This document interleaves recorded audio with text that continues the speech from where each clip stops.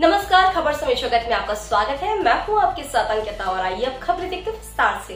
भोपाल। मध्य प्रदेश में इकतीस और एक जनवरी की रात को पब और बार मालिकों को उनके प्रतिष्ठान 12 बजे बंद करने और बारह बजकर पंद्रह मिनट तक पार्किंग स्थल खाली करने का निर्देश दिया। इसके बाद पब में किसी को प्रवेश नहीं दिया जाएगा। ये निर्देश सरकार की ओर से जारी किए गए नए साल के जश्नों को देखते हुए पुलिस ने भी अपनी तैयारी पूरी कर ली पुलिस शराब पीकर वाहन चलाने वाले रेस्टोरेंट पब में विशेष निगाह रखेगी। वहीं अवैध रूप से शराब परोसने वालों पर तुरंत एक्शन लेते हुए एफआईआर दर्ज करेगी पुलिस कमिश्नर हरिनारायण चौरी मिश्र ने बताया की हर चौराहे पर पुलिस तैनात रहेगी। उर्दंग मचाने वालों को किसी भी हाल में बख्शा नहीं जाएगा। वर्ष में सभी उत्साह से मनाए, सभी को इसकी शुभकामनाएँ।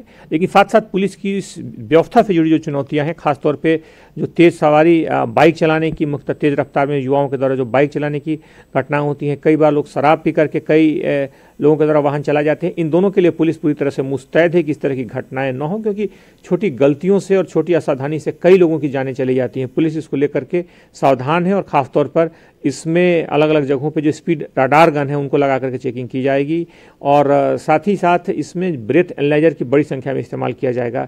जगह जगह चौराहों पर चेकिंग तय होगी। खबर समय जगत लिए संवाददाता आदित्य सराठे की report. For latest news subscribe to our channel and press the bell icon.